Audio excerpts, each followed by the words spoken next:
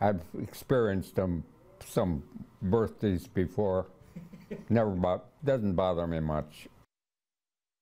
According to data from the United Nations, there are nearly twice as many centenarians living in this country compared to just 20 years ago. That number right now is about 90,000. Still, though, only about one in every 5,000 people in the U.S. live to reach 100. In tonight's Small Towns, Jeff Alexander has a recent visit to Neenah, a senior living facility that's very unique.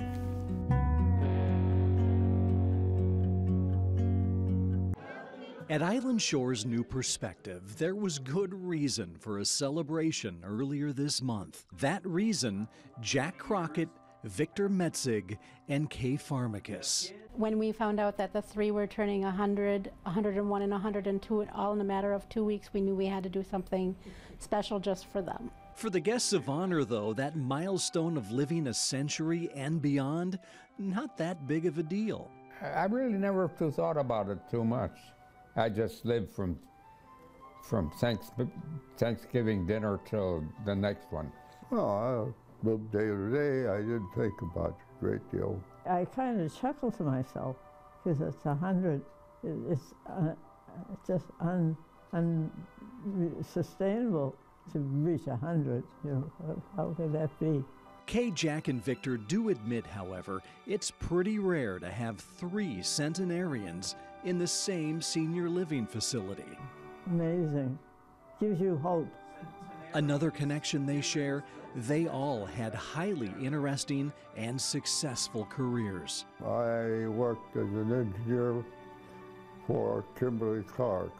Industrial chemist for a uh, paper mill outfit. I worked for the Atomic Energy Commission.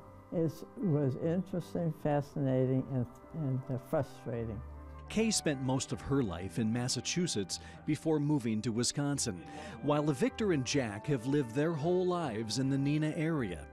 They share a common belief in why more and more people are joining the Century Club. Fewer cases of serious physical setbacks that normally killed people earlier in life. That's all. Better medical care. Well, I do think that we know a lot more about human beings and um, diseases and medicines and stuff. It's, it's all, all that we've developed to take care of people. Still, with April birthdays marking 100, 101, and 102, there's a shared gratitude for their longevity. I just think I'm fortunate and thank God for that. And I've lived an interesting life. Traveled a lot.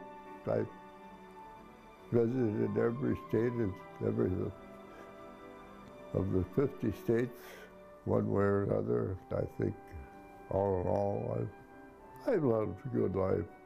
And Jack, the elder statesman at Island Shores, has this advice for those eyeing the century mark. Live and take care of yourself the way you should, instead of being a um, a, a, a, city bum, let's say. You're, you're going to beat the odds, I think. They definitely are uh, inspiration to many. And I'm hoping that next year at this time we're in the same spot with uh, someone turning 103, 102, and a 100 in one. And don't be surprised if that happens.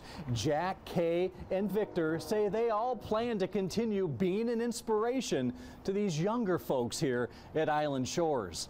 In Neenah with photojournalist Michael Bergman, I'm Jeff Alexander for Small Towns. Jack's just got to make it to another Thanksgiving dinner. I love I love that, that attitude. Huh? You know what I mean?